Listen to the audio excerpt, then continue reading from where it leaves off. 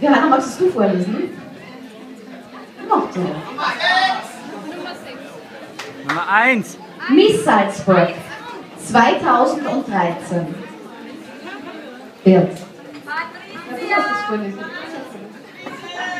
Wird die zauberhafte Gott, heul nicht schon wieder, Patricia.